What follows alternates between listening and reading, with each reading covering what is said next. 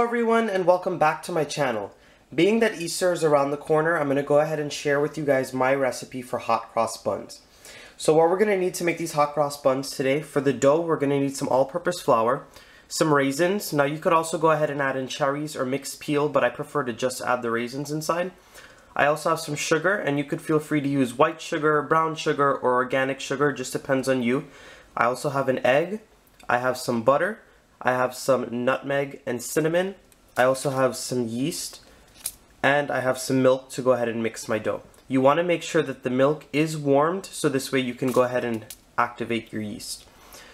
For the cross to go at the top, I have some powdered sugar and I have a few tablespoons of milk just to combine that together. And then this is for that glaze that's going to go over the buns as soon as they come out of the oven. I have some sugar, I have some water, and I have some butter. Now, this is quite a few ingredients, but the process is very simple, so I hope you guys enjoy this recipe. The first step for your hot cross buns is to go ahead and proof your yeast, or bloom your yeast. So what you're going to have to do is take all of that yeast, and you're going to go ahead and mix it into your milk. As I said before, you want to make sure that this milk is warm, so this way the yeast can properly bloom. I'm also going to go in with about a tablespoon of my sugar, and I'm going to go ahead and just mix that in. And you're going to let this mixture sit for about 10 to 15 minutes or until you see it start to bubble at the top. That's a good sign that your yeast has developed properly. And then we can go ahead and start making the rest of our bread mixture. My yeast mixture has been sitting here for exactly 15 minutes now, and as you guys can see, there are a lot of little bubbles forming at the top. That's a good sign that your yeast has activated properly. So I'm going to go ahead and set this aside again, and I'm going to get all of my dry flour, and we're going to go ahead and start mixing the dough. So you could do this in the mixer if you wanted to, but I'm just going to go ahead and do it by hand. You're going to add in all of your cinnamon and your nutmeg. And then I'm also going to go in with all of my sugar. And I'm going to go in with all of my butter. Now of course if you're doing this, this in the mixture, you would just go ahead and add all of your ingredients at once and just go ahead and mix. So what I'm going to do now is I'm just going to work that butter in as well as the sugar. If you're using the brown sugar, you're going to notice that there are clumps in that sugar. You want to go ahead and break them all apart. And hot cross buns, they're usually on the sweet side, so I usually add enough sugar to get that sweet taste. But if you wanted to add less, or if you wanted to add more than I'm adding, you could go ahead and do that also. So once all of this is mixed, you're going to go in with all of that milk mixture. And what I'm going to do is I'm going to crack in my egg and then I'm going to go ahead and start working it in and I'll come back and show you All right, everyone, like. so I've added in my egg, I've added in the milk mixture, and I ended up adding all of my raisins. And what you're going to end up with is a pretty sticky dough. As you guys can see, I'm still working in some of that dry flour at the bottom. You're going to end up with a pretty sticky dough, and that's exactly what you want. If you mix the dough too hard, then what's going to happen is your hot cross buns are going to be pretty tough in the end. So that's why you want to mix it pretty soft and sticky. If you need to, you can go in with a little sprinkle of dry flour if it's like way too sticky, but I think this is good for me. So what I'm going to go ahead and do now is I'm going to keep kneading it in my bowl for about four to five minutes. And then what I'm going to do is come back and just show you guys the texture of this dough and what it looks like. I finished kneading my dough for about four minutes now. And as you guys can see, the top has gotten nice and smooth from that kneading process. That's exactly what you want. So at this point, I'm going to go ahead and cover it with a damp paper towel, and I'm going to let it rest for an hour or until it doubles in size. While my dough for the hot cross buns is rising, I'm going to go ahead and show you guys the glaze that's going to go over these buns once they're finished in the oven. So the first step is to go ahead and add in your butter into a little saucepan, and immediately you just want to go in with all of your sugar, and you're going to go in with your water. Basically, you're going to let this melt, and you're going to let it boil on a low heat, a medium low heat, for about five minutes just until it starts to thicken up and I'm going to show you guys what this looks like when that occurs. I've been boiling my glaze here on a medium low heat for exactly seven minutes now and it's gotten nice and thick so what I'm going to go ahead and do is I'm going to cover this little pot and I'm going to set it aside until my buns are done baking and then I can go ahead and brush this over them. After about an hour, you're going to notice that your dough has doubled in size and it's very light and airy. So what I'm going to do now is I'm just going to go ahead and punch it down and I'm going to go ahead and make them into little balls and I'm going to put them on my baking tray. Now I've buttered my baking tray very lightly at the bottom just so they don't stick even though it's a non-stick pan, sometimes the dough can stick, so I just wanted to put the butter there as an extra precaution. So I'm going to show you guys how to go ahead and roll one of these into a ball. What you're going to do is you're going to take a small portion of the dough and you're going to go ahead and roll it in your hand as I'm doing here. You want to grab it with the palm of your hand and you want to put it on your other hand like this and then roll in and you want to keep doing that until one side is very nice and smooth. Once it's smooth, you're going to go ahead and pinch all the sides together and you're just going to bring it all together like this. And I like to make my hot cross buns on the smaller side. I don't like them very big, but honestly the size depends on your preference, so go ahead and make them as big or as small as you'd like.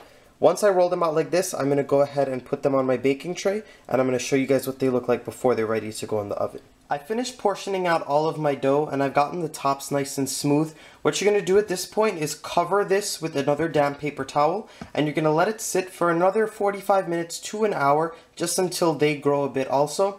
You do not want to put them in the oven at this stage or else they're going to end up being tough. You have to let them rest for a little longer before you go ahead and pop them in. So I'm going to come back and show you what they look like before I go ahead and stick them in the These oven. are how my buns looked after about another 30 minutes of rising. As you guys can see, they've almost doubled in size again.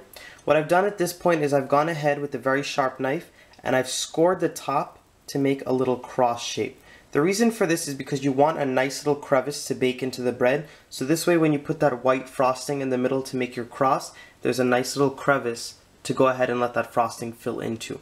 So I finished scoring the tops of my bread and I'm going to go ahead and stick these into my oven at 300 degrees for about 15 minutes. At that point I'm going to come back and show you guys what it looks like.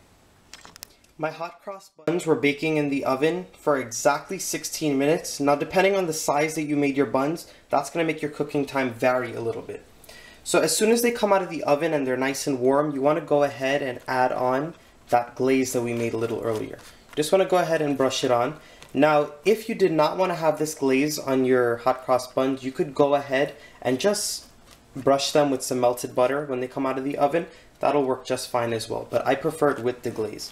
So once I finish brushing the glaze on all of my hot cross buns, I'm going to go ahead and let them cool completely before I frost them with that white icing that we're going to make. Remember that white icing is going to make like a cross in the middle. That's sort of like the trademark of these hot cross buns. So I'm going to let these cool completely because if I put the frosting on while they are hot, it will just melt right off. So I'm going to finish frosting these with this glaze and then I'm going to come back and show you guys what they look like when it's time to put the frosting on. After you've gone ahead and glazed your hot cross buns and they're cooling, you want to go ahead and put together that frosting mixture that's going to make the cross on top of the buns. So what I have here in my bowl is my powdered sugar and I'm going to go ahead and add in about a tablespoon of milk at a time and I want to mix that in. You do not want this to be too thin so you do not want to add too much milk in at once. So what I'm going to do is I'm going to keep stirring this until it's smooth and I'm going to come back and show you guys what the final product should look like. I finished mixing my frosting here and as you guys can see it's nice and thick. So what I'm going to do at this point is I've opened up a little Ziploc bag. This is what I'm going to use to pipe my frosting on. So what you're going to want to do is just go ahead and pour in all of that frosting into one side of the Ziploc bag so we can go ahead and start frosting these hot cross buns. I'm going to get all of it out. And what you're going to do now is you're going to close the bag and you're just going to wrap it up like this. Way you have like a little cone shape. What you're going to do at this point is you're going to cut a very small hole out of the bottom. So you're just going to snip it with your scissors right here. And then we're going to go ahead and start frosting these hot cross buns. Once your hot cross buns are cool to the touch, it's time to go ahead and start piping them. So what I'm going to do is take my glaze and I'm just going to go over to one side of these buns and go to the next side. Now the glaze is going to drip a little bit and that's perfectly fine. You just want to make sure to control your piping bag that you're using to put on your frosting. So I'm going to continue frosting the rest of these hot cross buns and I'm going to come back and show you guys the final product. Alright guys, my hot cross buns are finally done. The frosting has set on the top and they look beautiful guys. They're so shiny on the outside from that nice glaze that we put on. I just can't wait to dig in. These are going to be perfect with a nice slab of cheese in the middle or you could go ahead and slather it with a thick layer of butter. So I'm just going to go ahead and I'm going to break into one to show you guys how amazing these look on the inside. I just want to show you guys. Look how nice and fluffy that bread is in the middle. It is not dry at all. It's nice and it's moist and it's very fluffy. This is exactly how you want your hot cross buns to turn out. The reason why they're so nice and soft and fluffy on the middle is because we mix that dough to a very sticky texture or a very soft dough. We didn't make it too hard. So I really hope you guys enjoy this video. I hope you guys have a safe Easter holiday and I wish you guys all the best in this holiday season. I hope you guys enjoyed this recipe. Please go ahead and give this video a thumbs up. Subscribe to my channel if you haven't done so yet and go ahead and comment down below and tell me what you guys thought about this recipe or what you guys would like to see next. Once again, thanks for watching everyone.